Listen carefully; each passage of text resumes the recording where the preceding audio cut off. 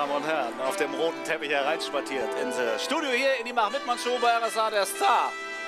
Der Tom Cruise an die Wand spielte. Der Rote Baron, Marcel Reich-Ranitzky, Mein Leben, kein Ohrhasen, zwei Ohrküken, Das wilde Leben, Soloalbum, jetzt 12 Meter ohne Kopf, meine Damen und Herren. Hier ist Jamie Oliver. Äh, Matthias Schweighöfer, herzlich willkommen. Hi. Haben dich die Kollegen schon müde gequatscht oder hast du noch ein bisschen was zu Nee, erzählen? die haben mich munter gequatscht. Ja? Was glaubst du, Weg mich freue, hier zu sein? Wie geht's dir denn? Hast du Schweinegrippe oder sowas? Muss Ich ich hab, aufpassen? ich hab alles. Ich hab das ganze Paket. Hast du einen Bezug zu Schleswig-Holstein? Das ist meine allererste Frage. Denn ich weiß, Äh, dass es dir gut geht. ich habe einen Bezug zu Schleswig-Holstein und zwar äh, die Stadt, wunderbare Stadt Kiel. Hat mir einen der wunderschönsten und wunderbesten und barsten Kollegen geschenkt, die ich jemals hatte. Auf Das finde ich total nett. Du kennst mich doch mal Und ich kenne dich gar nicht wirklich, aber das wollte ich dir jetzt nur an dieser Stelle gleich mal unvermittelt durch die Blume rüberschießen. Okay. Haben dich deine Eltern zur Schauspielerei gezerrt?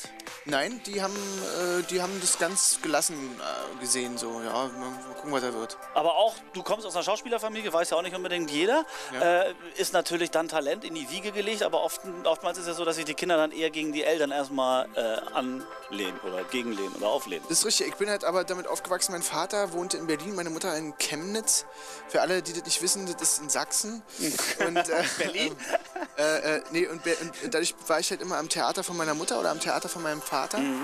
Und das waren halt zwei unterschiedliche Welten, auch im Theaterbereich und so Unterhaltungsindustrie. Und seitdem, da, ich fand das immer toll. Was hätte aus dir nochmal werden können, außer Schauspieler? Regisseur. Und außer, sagen wir mal, künstlerischer Beruf, hättest du auch, sagen wir mal, irgendwo in einem Steuerbüro landen Keine Ahnung, können? nee, nee, Oder? ich wüsste ich nicht. Was Künstlerisches hätte es schon sein müssen. Ja, Musiker.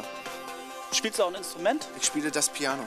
Wir reden jetzt schon über diesen neuen Film, deswegen bist du ja auch hier, 12 Meter ohne Kopf. Das ist absolut korrekt. eine Piratensaga, Das sagen wir ist mal. in dem Falle genauso richtig. Da spielst du nicht Klaus Störtebecker, sondern den anderen. Gödecke mich- Michels. Gödecke Michels. Genau, Gödecke. Den habe ich vorher nie gewusst, dass es den überhaupt gibt. Das war aber damals in Wahrheit der bekanntere Pirat. Ja? Ja. Der war Und cooler drauf, oder? Der hat Klaus Störtebecker eingestellt. Das war so der FC Bayern sozusagen, der Piraten damals. Er war FC Bayern äh, und äh, Störtebecker war nur eher- 1860. Oder Werder Bremen.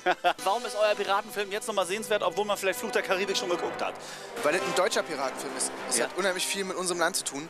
Und das ist eigentlich echt geil. Deutsche Geschichte, deutsche Legenden. Vielen Dank für deinen Besuch hier. Es war total Dankeschön. toll. Das war toll. Vielen Dank. Ja? Wirklich. Also äh, Ich komme bald wieder. un- unbedingt vor Friendship. Vor Friendship sind wir wieder in Kiel, Leute. Und dann haltet euch fest, dann brennt äh, Im, die Im Luft. Ernst, da bringst du deinen äh, Co Wunderbaren äh. Kollegen Friedrich Mücke mit.